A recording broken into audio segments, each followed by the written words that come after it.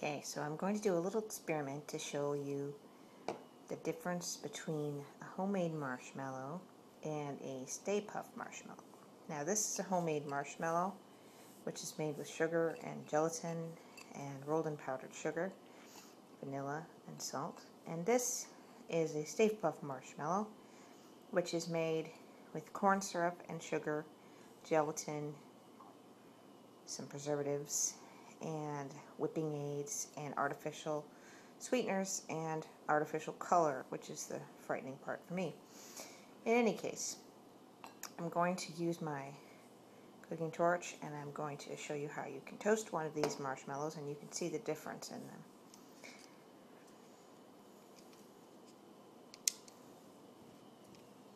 First we will do the Stay Puft marshmallow. Probably isn't a Stay Puft marshmallow, probably a Jet Puff marshmallow to be honest with you. Now I can't toast a marshmallow without setting fire to it, so just have to bear with me about that.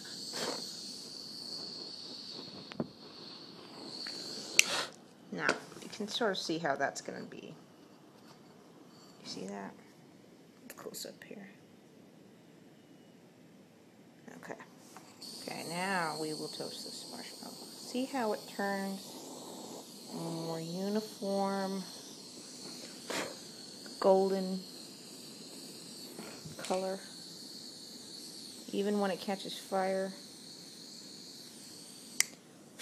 it just sort of brulees instead of.